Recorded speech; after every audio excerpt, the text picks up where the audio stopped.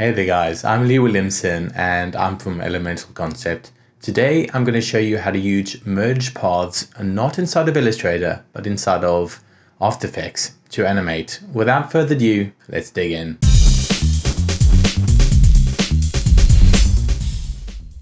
So I have this hand that I'd like to animate and animate the thumb individually. The problem I have is that when I try and animate these um, points inside of After Effects. That can be a little bit messy.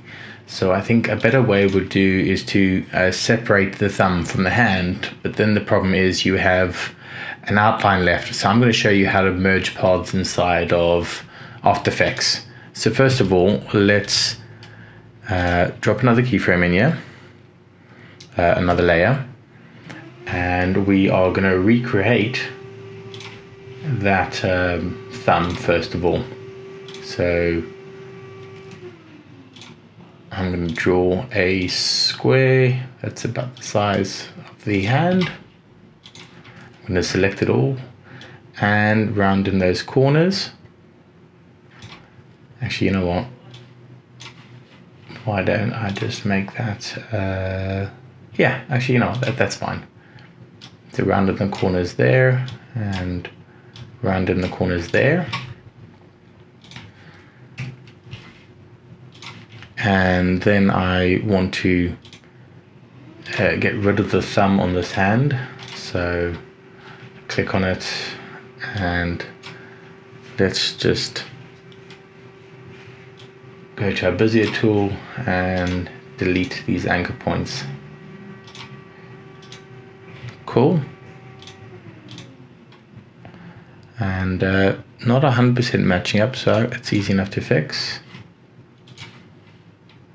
So what I'll do is I can go to the hand select that path press ctrl Y on the keyboard and let's just match it up as closely as we can. Okay I'm cool with that. So now I'm just going to take this thumb uh, for this merge path to work, the thumb and the hand have to be on the same layer. So I'm going to go cut, delete that layer out, and paste in front. So now the whole hand and the thumb is together. I'm going to save that out. Okay, so we take the hand in. Okay. Double click on the hand. And first things first uh, I can click on all these layers right click go to create shape vector layer and then just drag it above and delete these layers. Now all I want to do is I want to work with the hand. So let's just find the hand on here. Here we go. And we can celerize the hand just lock all these other layers first.